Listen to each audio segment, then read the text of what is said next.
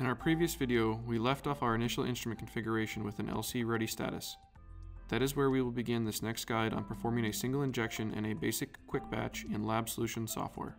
When you are in real-time analysis, on the acquisition submenu in the assistant bar, you will see an option to edit instrument parameters, start a single run, start a quick batch, or open up post-run data analysis software. If you back up to the main menu on the assistant bar, you can see that you can access the acquisition submenu by clicking on Data Acquisition. To set your method conditions for your injection, you will need to click on Edit Instrument Parameters either in the main control user interface or from the assistant bar menu.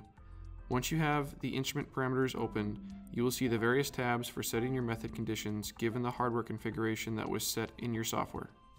To start with, the first tab you will see is the Data Acquisition tab. This tab lets you set your overall method time and data acquisition time. Typically, those two are one and the same. However, if for any reason you would like your detectors to only collect a subset of the overall acquisition method, you can set a unique start time and end time for any data acquisition with your detectors. Under the LC Time Program tab, you can program changes to your method conditions over time. In the example I am showing here, this is a standard mobile phase gradient time program where I am varying the organic strength in reverse phase conditions to allow the analytes to elute off faster but still getting baseline resolution between them.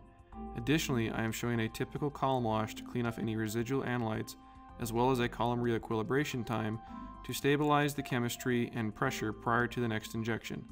In addition to changing the mobile phase concentration through the pumps, within the time program you can also control the column oven, controller, and autosampler.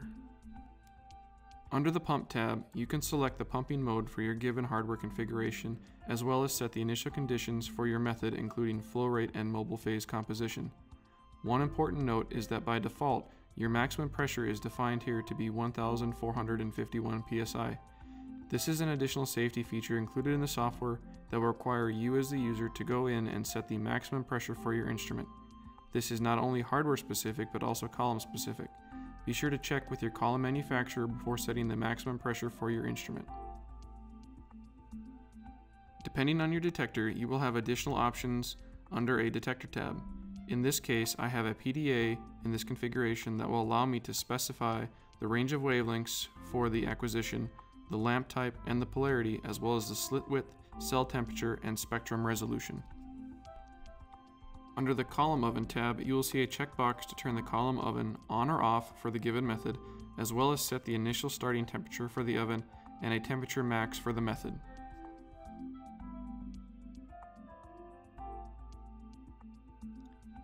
Under the Auto Sampler tab, you can set your sample aspiration speed, cooler temperature if equipped, as well as set your rinsing mode and conditions. Under the Auto Purge tab, you can preset your auto purge conditions for mobile phase and purge time, as well as set your warm-up time and flow rate. Now that you have set your method conditions, by clicking on Download or Download and Close, you are sending those conditions to your instrument controller, typically the CBM20A. You will also need to save the method file to the PC for reference.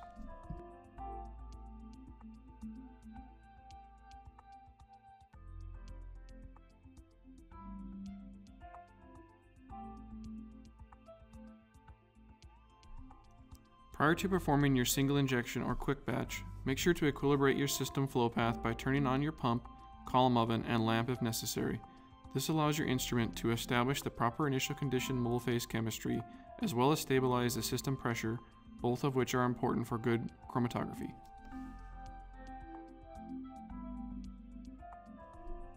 Now that your instrument is equilibrated with your initial conditions, you can select Single Run either from the control interface or from the assistant bar. Once opened, you will need to input the sample name, sample ID, method file, data file name, as well as a vial number, injection volume, and tray number.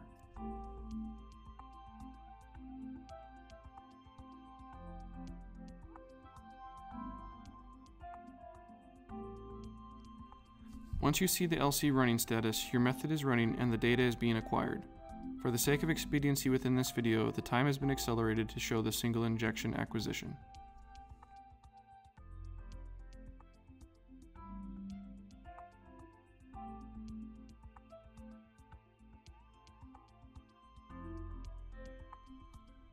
Now that your method is complete and the data is done being collected, you will return to an LC ready status as seen here.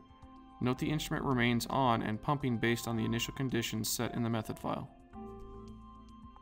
To perform a series of injections, the simplest way is to use a quick batch. For the sake of simplicity, I am going to demonstrate creating a batch from the same sample vial but varying the sample injection volume. When you open up Quick Batch, you will need to name the batch file, select the method file, name the data file unless using autofile name, select the sample type, enter the sample name, sample ID, number of repetitions, and injection volume. You can select the sample or samples by clicking and dragging across the locations in the graphic interface. Once you have all the information entered, you need to simply click Add to Batch Table. This is a fast and intuitive way to build a batch table. Once your batch table is complete, just click Start and your series of injections will begin running.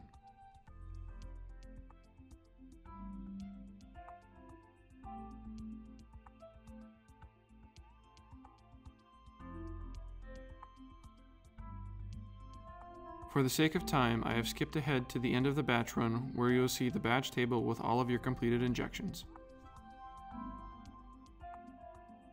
Thank you for watching this video guide on performing a single injection and basic quick batch. To see more video guides on Shimadzu products, please visit our YouTube channel. If you have any questions or require additional support, please don't hesitate to contact us by calling our 1-800 number. Excellence in science. Shimadzu.